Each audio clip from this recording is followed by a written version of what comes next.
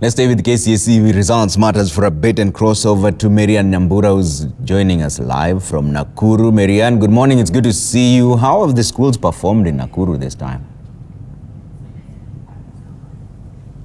Well, Trevor, the situation is that uh, we are to get the full details as to how uh, the region as well as uh, Nakuru County in general uh, performed during this year's uh, KCSE exam. Over one uh, 1,960,000, uh, 196,000, sorry, uh, this year's uh, KCSE exam in the Rift Valley region, uh, over 2,000 uh, examination centers compared to last year, 173,063 students sat uh, the KCSE exam uh, in 2,643 six, uh, 2,643 centers. Now, basically, we are here at uh, the St. Mary uh, Veronica, St. Maria Veronica uh, Secondary School here in uh, Nakuru Town East, whereby uh, this is among the schools that have performed well. Uh, it's the first time actually uh, the students attempted to sit, uh, start the KCSE exam and they've gotten, they scored two A's, two A minus, sorry. Uh, 40 out of the 77 who start this year's exam, uh, 40 of them scored uh, C plus and above. So I'm going to speak to uh, the principal of the school who will shed more light about uh, the situation here. Maybe you could uh, start off with your name and tell us how was the performance this year. 40 of them got C plus and above. Maybe how is the situation for you so far? Are you celebrating any celebratory mood? Yes, we are really celebrating. My names are Grace Minor, Principal St. Maria Veronica, and I'm very excited about this day because uh, we started this school in 2016. We have had our first lot sit the KCSE, and they have done wonderfully. These children, what makes us very proud is that uh, these girls came from a very poor background. We started with 60 of them. All of them have been able to complete the course, and the 60 of them are among those that will attend or will go to the university. Actually, the 60 of them that we started off with have uh, attained C minors minus and above. These are children who have come from uh, parents who are unable. They have uh, they, they, many of them uh, do odd jobs. Some of them are chang'aa uh, sellers, brewers and sellers. Uh, you know, parents, students who did not have a future. Courtesy to our CDF through the patronage of our MP David Gikaria, they were able to sponsor those students from uh, the, providing them with the uniform, with school fees, up to the time they have finished.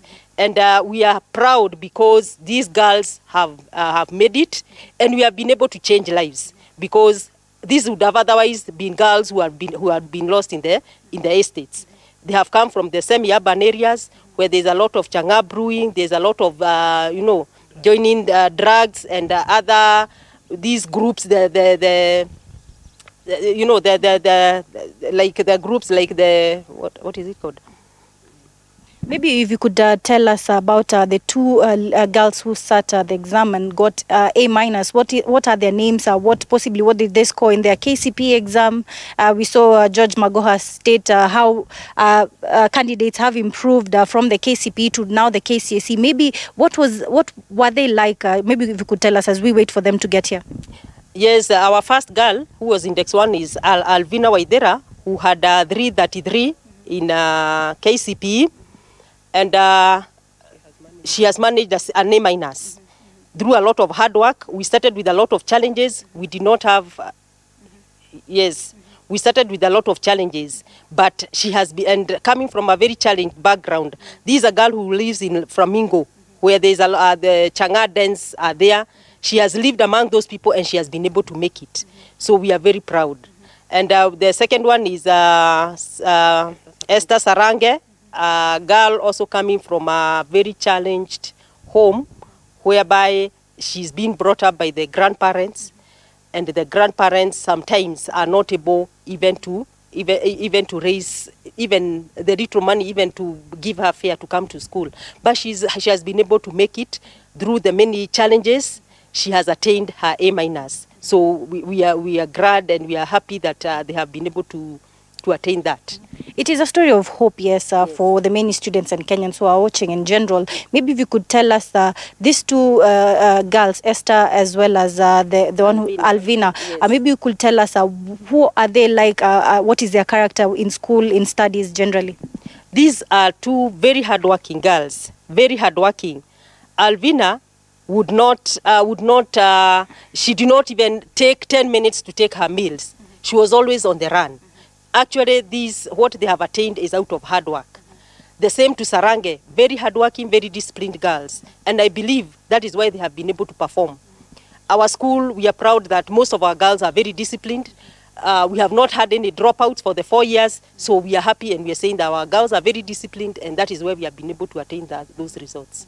Yes. Thank you so much. Thank you. Uh, well, uh, Trevor, there you have it. Uh, that is the principal just telling us more about uh, the situation here. Uh, this is the first time uh, that the St. Maria Veronica Secondary School has, the students here have sat the KCSE exam.